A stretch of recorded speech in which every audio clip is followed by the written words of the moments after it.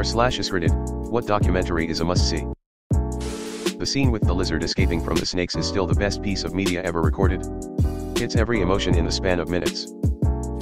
The Fog of War, 11 Lessons from the Life of Robert S. McNamara. One quote from the movie by McNamara about his own actions in World War II. And GT, if we'd lost the war, we'd all have been prosecuted as war criminals. And I think he's right. He, and I'd say I, were behaving as war criminals. The subject matter is obviously great, but the way everything is put together makes it perfect. Errol Morris is the best at making films based on interviews. This movie also got me into contemporary classical music. Incredible soundtrack by Philip Glass. Three Identical Strangers. It's about identical triplets separated at birth and found each other years later. Love the plot twist. Great one for sure, especially if you are at all curious about nature vs nurture. Makes you wonder who funded the study and why. I went to high school and was good friends with the daughter of one of those guys. She told me her dad was going to be in a movie and I couldn't believe this is what she meant. I was expecting him to be an extra or something lol. Some of the documentaries I thought were good are Dear Zachary, Grizzly Man, Restrepo, Free Solo, and GT, Restrepo. This one hit me hard. Dear Zachary is a must-see but one time only OMG. The 7-Up documentaries are amazing.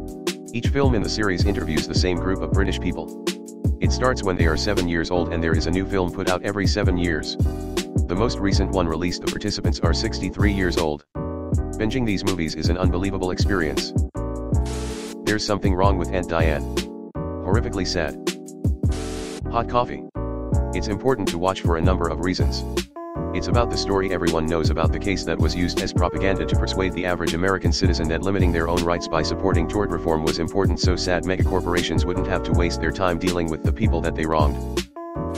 That picture of her injuries, yuck. Don't care to see that again. Icarus. Basically two documentaries in one. Had to scroll too far for this one. Talk about being in the right place at the right time. Incredible story. I always tell people about this. Surprised more people haven't seen it. The Pharmacist docu-series on Netflix. After losing his son in a drug-related shooting, small-town pharmacist Dan Schneider embarks on a crusade to bring a reckoning against the powerful figures behind the nation's devastating opioid epidemic. Just watched it? Was way more than I expected. Guy was ahead of his time in recognizing the beginnings of the opioid epidemic. Dopesick on Hulu is a very good docudrama about the crisis. The pharmacist had the black lady doctor who was giving out all the scripts. The Jinx. Incredible series. Utterly fascinating. Although I keep hearing Tony's exasperated teacher snapping, don't let me tell you again. It's now an earworm. Him talking to himself mic'd up is Doc Gold. Class Action Park. A history of New Jersey's Action Park amusement park. So entertaining. Great doc. Especially having been there as a kid. It was really eye-opening to see how that place managed to stay open so long. Man that mom who lost her son. She had me in tears. That movie was amazing. I sat there slack-jawed, unable to believe that place was able to stay open in my lifetime. The infirmary. The Zorb ride made from plumbing supplies. Utter insanity. Wild Wild Country. The Alpinist. Yet all those recent mountain climbing movies are fantastic. Alpinist, The Dawn Wall, Meru, Free Solo. The Reel Rock series is also fantastic and a shorter format with equally amazing footage and stories. Along the same lines, Meru. The Civil War. Link. Really, anything slash everything made by Ken Burns is worth watching. Enron, the smartest guys in the room. Touching the Void. Most gripping documentary I've ever seen. Jiro dreams of sushi. Not just about sushi, but about the sustainability of the fish, as well as hard work. It's an ode to the dedication to craft. Grey Gardens, 1975, I recommend watching this with a box of wine, a few cats, and you'll need a sweater and scarf. You'll know what to do with the sweater and scarf when the time comes. This documentary will haunt you for years and is hilariously quotable to the people who've seen it. Definitely watch the documentary now. Parati. Grizzly Man. Hashtag Team Bear. Werner Herzog is the GOAT, to me. Love Visions of Darkness, Cave of Forgotten Dreams especially. Dear Zachary. I am trying to break your heart. I watched this not long after my son was born. Oh boy was I an emotional wreck. 30 something man just sobbing on the floor uncontrollably. Fuck I'm tearing up now, just thinking about it. If you liked that episode, you must watch To Catch a Traitor. I used to love Frontline when it was about substance. Now it's all about politics. Muscle Shoals. Just a period of music history that I had no idea about. Act of Killing. Isle of Flowers, short, easy to find on YouTube. The Corporation. Act of Killing is a documentarian's documentary. Absolutely stunning and mind-blowing. Plus one for The Corporation, especially. And there is a sequel. Crumb, 1994.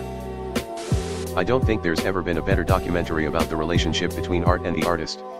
It's also an incredible commentary on mental illness and art as therapy, but in the end it's just a fly-on-the-wall portrait of a genius. Finders Keepers. This man bids for an abandoned storage unit and wins.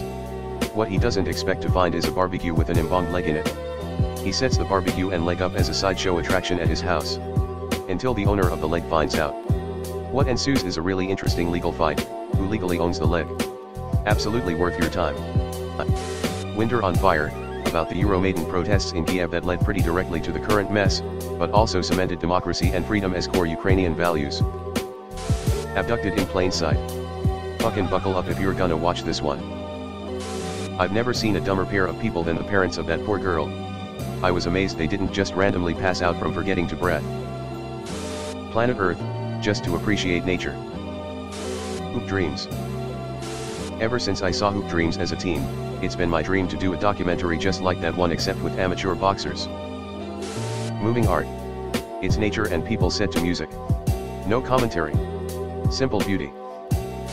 Chef's Table. I'm just so happy with this series and what it's done to reignite my fire in food and family and culture.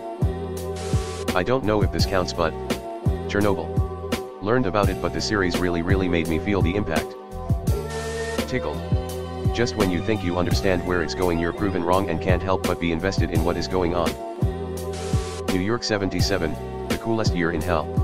It's about New York City in 1977. The city was in really bad shape, Son of Sam was terrorizing NYC, the summer blackout and the looting that followed. But at the same time Disco and Studio 54 were happening, CBGBs had bands that went on to infamy, and hip-hop was in its infancy in the Bronx. The easiest watching documentary I've ever seen. Paris is Burning. It's about NYC drag balls in the 80s. It's simultaneously joyous and heartbreaking. It also makes you realize how much mainstream pop culture is based on what bubbles up from queer New York club culture. Absolutely incredible. Also heartbreaking when you look up the people in it. Fucking amazing movie. You can see some of the energy and music that would go on to meld into house music too. It's history not just for queer identity but also in a lot of ways cultural and music history as well. 10 Tenths movie. And Blue Planet. I can't believe I don't see this one in any of the comments. Going Clear, Scientology and the Prison of Belief. The Social Dilemma. Navalny was really crazy. Waco. It didn't do well in theaters, but it gained a huge cult following. Woodstock 2. What a shit show. Exit through the gift shop. You start off thinking it's a Banksy documentary and it just keeps changing until it ends and you realize how blurred the lines are on the commentary of the entire thing.